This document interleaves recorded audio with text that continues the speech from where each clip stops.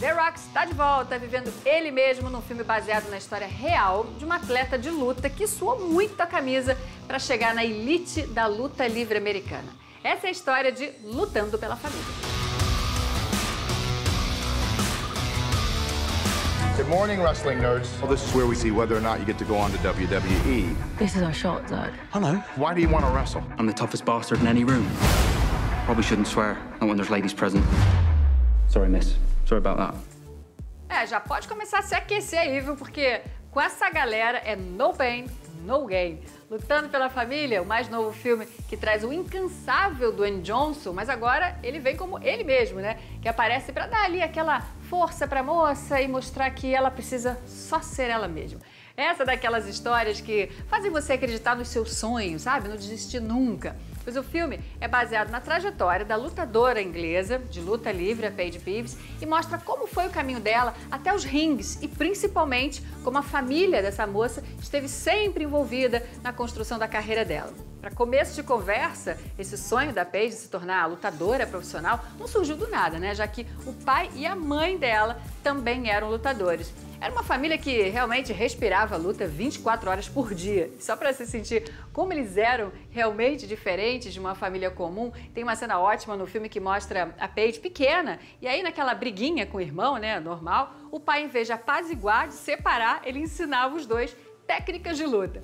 Era realmente uma família bem diferente. Esse filme é um projeto do próprio Dwayne Johnson, que é também o produtor.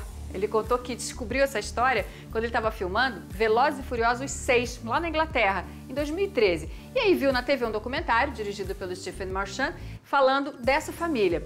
Ele achou o estilo deles tão rock and roll, tão diferente, que sentiu que ali podia dar um bom filme. E entrou em contato com o Stephen e convidou ele então para eles tocarem juntos essa adaptação para as telas. Stephen, além de dirigir, também é o roteirista do filme. Lutando pela Família é divertido e recebeu elogios da crítica em publicações como Variety, The Rap, mas a história dela realmente é legal, viu? A Paige chegou onde ninguém da família chegou, o WWE, que é importante competição de luta livre dos Estados Unidos. A Florence Pugh é que foi escolhida para o papel principal e lutando pela família deixa ali uma mensagem bacana de determinação, de coragem, de união. Então, vai lá ver, porque é bem divertido. Imagina ser declarado morto por 60 minutos e voltar à vida. Já pensou? Isso aconteceu de verdade e é o que a gente vê em Superação, o Milagre da Fé, o novo filme que tem a Chrissy Metz no elenco.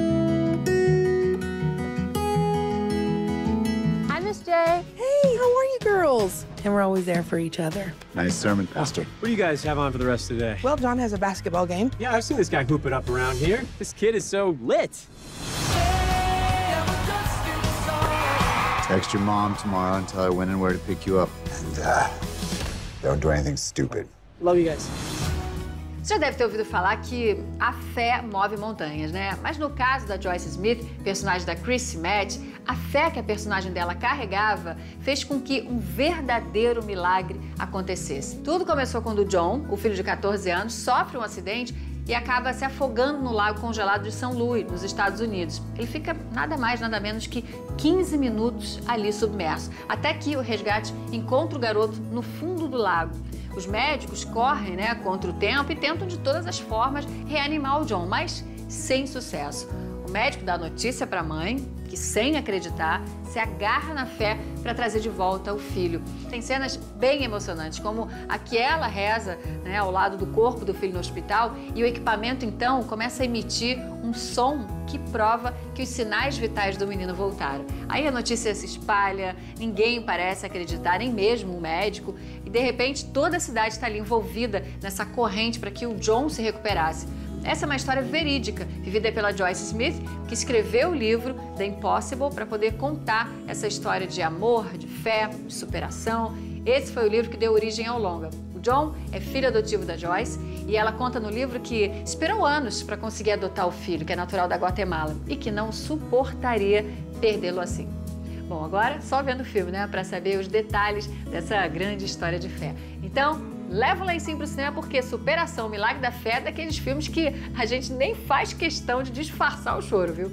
Vai lá e depois me conta.